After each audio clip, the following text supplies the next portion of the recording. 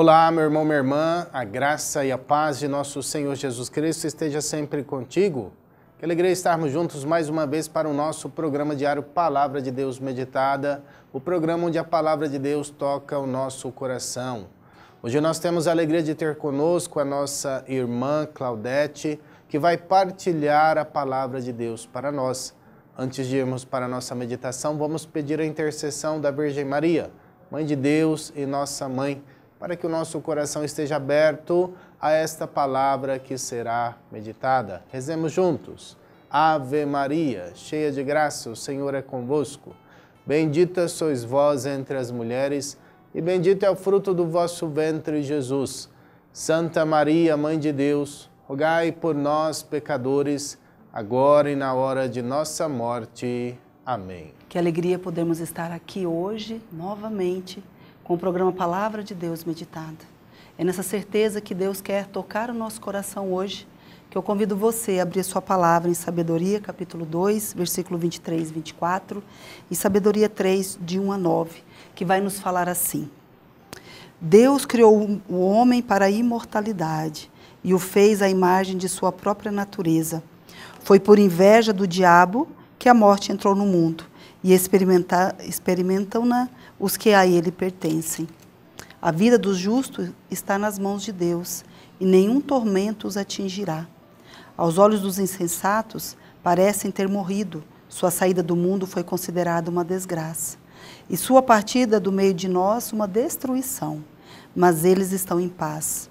Aos olhos dos homens, parecem ter sido castigados, mas sua esperança é cheia de imortalidade tendo sofrido leves correções, serão cumulados de grandes bens, porque Deus os pôs à prova e os achou dignos de si. Provou-os como se prova o ouro no fogo, e aceitou-os como oferta de holocausto. No dia do seu julgamento hão de brilhar, correndo como centelhas no meio da palha. Vão julgar as nações e dominar os povos, e o Senhor reinará sobre eles para sempre.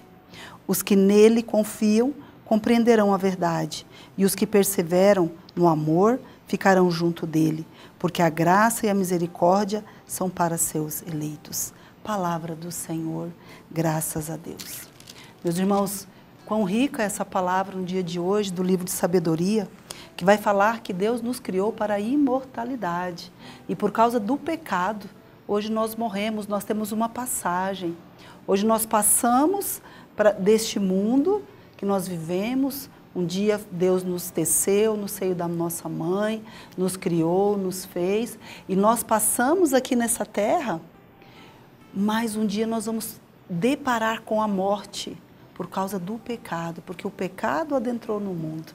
Não porque foi porque Deus queria ou foi por o agrado do Senhor, mas por causa do pecado, por causa da desobediência, por causa da inveja de alguém, do demônio que teve contra Deus, que não quis se colocar no senhorio, que Deus fosse o seu Senhor, o pecado adentra o mundo. E hoje nós passamos por essa Páscoa, digamos assim, passamos por essa fase da nossa vida.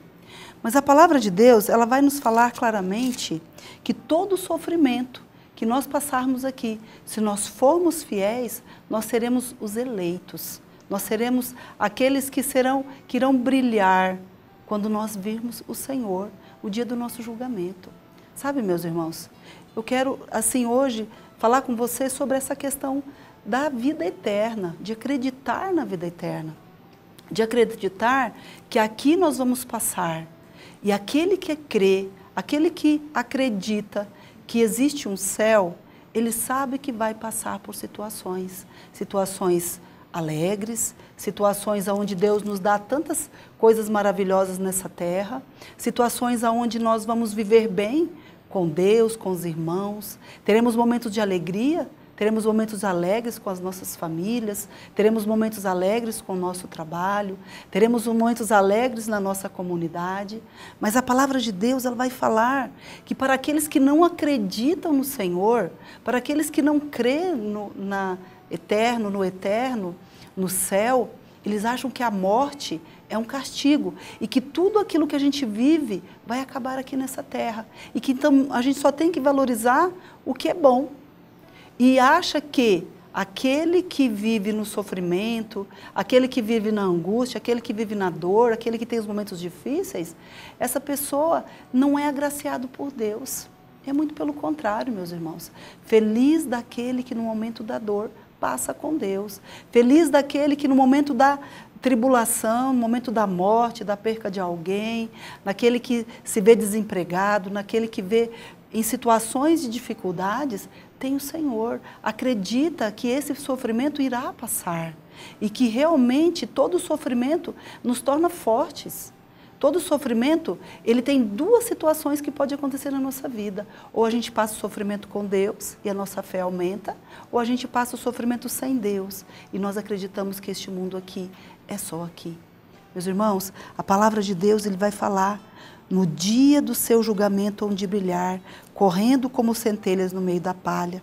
Vão julgar as nações e dominar os povos, e o Senhor reinará sobre eles para sempre.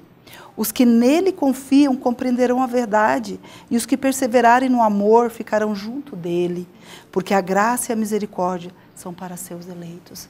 Meus irmãos, todos nós somos chamados a essa eleição. Todos nós somos chamados a ser eleitos do Senhor. Todos nós somos chamados a ser filhos amados de Deus, porque, como a palavra vai falar, nós nascemos para a imortalidade. Depende de como nós caminhamos nessa terra. Quero, nesse dia de hoje, convocar você, chamar você, chamar sua atenção, para que você sinta-se esse eleito de Deus. E se você estiver passando por um momento de dor, de angústia, acredite, vai passar o Senhor é aquele que cuida dos seus. Então, nós, quando deparamos com as nossas dores, nós precisamos louvar a Deus e sempre ter a nossa mente no nosso coração. Tudo isso vai passar. E feliz daquele que entende isso. Que o Espírito Santo hoje possa te conduzir esse momento de oração e que ele possa te convencer que tudo isso que você passa hoje vai passar e que Deus é contigo. Louvado seja nosso Senhor Jesus Cristo, para sempre seja louvado.